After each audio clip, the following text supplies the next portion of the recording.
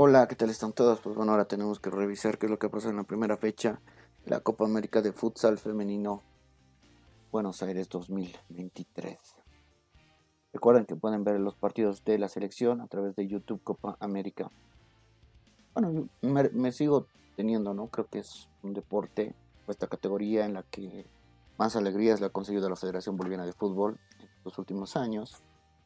Pero lastimosamente, pues de hoy no fue el mejor día para las chicas. Este fue el quinteto inicial, López en el arco, Nina, María Galvez, que Coquito que estuvo ahí, Siles y Chura.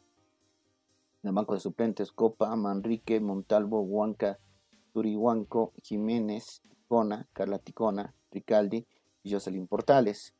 A ver, las jugadoras que han salido subcampeonas de Libertadores, Portales, Galvez, ¿no? Y Ticona no estaba en ese equipo.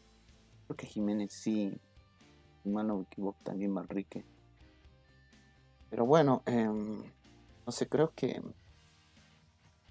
la dualidad de jugar fútbol y futsal no, no, no, fue de los no fue lo mejor. Se notó una selección un poco disminuida.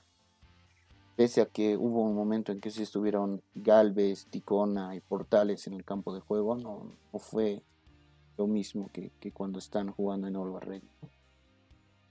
Y bueno, eh, fue clara la derrota 4 a 1. Inició mejor Bolivia, pero luego vino el primero de contragolpe de Venezuela. Eso fue todo el partido, ¿no? Bolivia dominando, Venezuela contraatacando. Y así nos metieron 4 a 1.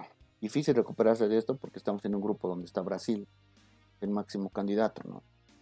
Eh, vamos a ver qué pasa en los siguientes partidos, pero realmente creo que había que pensar un poco mejor esto. Eh, tenemos una generación dorada, futsal femenino, con el cual podríamos conseguir cosas importantes y habría que cuidar a estas jugadoras, ¿no? Eh, es con, controlar un poco ese tema de que hayan jugado fútbol con, con West Ready, pero bueno, habrá que pensar un poquito más que la Federación Boliviana de Fútbol no desperdiciar lo que realmente es importante, ¿no? Y bueno, en otro partido del grupo, lo que les decía, Brasil le metió 13 a Ecuador, ¿no? 13 a 1 por el resultado. Sin mucho que decir. Las posiciones en el grupo B, porque es el grupo B donde está Bolivia, Brasil 3 puntos, Venezuela 3 puntos, Bolivia, Ecuador, Paraguay 0 puntos. Bolivia entonces va a tener que hacer muy buena letra contra Ecuador contra Paraguay. Contra Brasil esperemos que perder por la mínima y habrá que esperar que Venezuela caiga, ya sea contra Ecuador o contra Paraguay. Y ahí tratar de, clasificar. Solamente dos clasifican a las semifinales. Por otra parte, en el grupo A, Argentina derrotó 11 a 0 a Perú. Y se nota, ¿no? Que ya se están empezando a ver las diferencias de las potencias de siempre. Y Chile perdió en un partido ajustadísimo 0 a 1 ante Uruguay. Las posiciones en el grupo A, Argentina 3 puntos, Uruguay 3 puntos, Chile, Perú, Colombia 0 puntos. Colombia está aquí, que ojo, Colombia también es potencia, ¿no? La fecha 2, mañana lunes 25, Ecuador versus Paraguay, Venezuela versus Brasil. Aquí esperemos que Brasil gane a Venezuela. Y bueno, eh, cualquiera que gane de aquí, que luego le gane a Venezuela. Y luego por el grupo A tenemos Perú versus Colombia y Chile versus Argentina. Bolivia juega recién el día martes contra Paraguay. Pues bueno, no empezamos de la mejor manera. Eh, habrá que ver cómo recuperarse y nuevamente.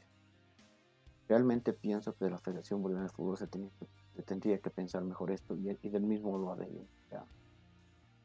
Tienes una generación increíble de jugadoras de futsal femenino. No tienes por qué creo que aspirar a fútbol femenino. Son dos deportes diferentes, ¿no?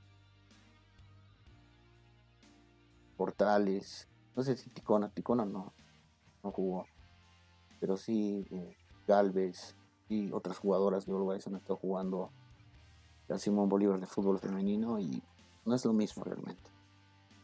Entonces, em, cuando ya se va profesionalizando la, cuestión, pues no, no, no vas a ver ¿no? jugadores de futsal de la selección boliviana de fútbol jugando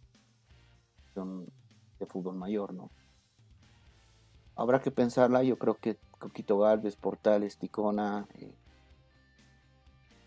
tienen algo más que dar en el futsal femenino y esperemos que se la piensen mejor para el año.